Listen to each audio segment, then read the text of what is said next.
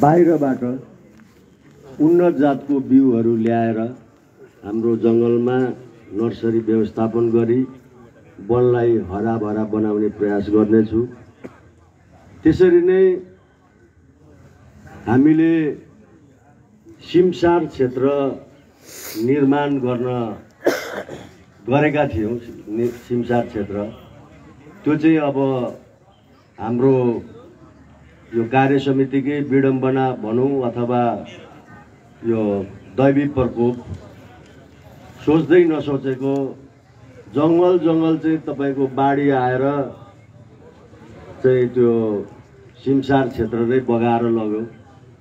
त्यसमा हामीहरूले चराचुरुङ्गी तपाईँको वन्यजन्तुको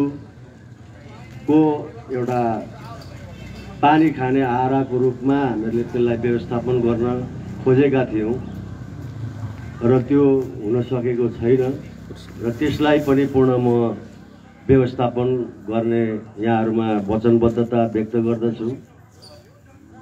त्यसरी नै हामीले यो जङ्गल क्षेत्रमा धेरै बाटोघाटाहरू भएर यो चोरी निकासीहरू चाहिँ धेरै भइरहेको अवस्थाको कारणले गर्दाखेरि त्यसलाई बार लगाएर दुईवटा मात्र नाका बनाउने एउटा धरान विराटर रोडको नाका र अर्को बहुभाषी फिल्ड मैदानको नाका। यो दुईवटा नाका राखेर हाम्रो क्षेत्रलाई चाहिँ यो तार घेराबेरा लगाएर चाहिँ बााउन्ड्री बनाउने भन्ने छ। अर्को यो हाम्रो समूहको जङ्गल के अरे समूहको कार्यालय पछाडिपट्टि चाहिँ खोला छ। त्यो खोलामा चाहिँ बाढी आएको कारण सम्पूर्ण कुराहरू चाहिँ अब बगाएर लिएर जाने भएको कारणले गर्दाखेरि त्यसमा एउटा बाँध तटबन्ध समय छ र त्यो त्यसलाई चाहिँ पुरा गर्ने म ज यहाँ यहाँ वचनबद्धता गर व्यक्त गर्न चाहन्छु। र यो हाम्रो चाहिँ यो बजार एरिया भएको कारणले गर्दाखेरि यहाँका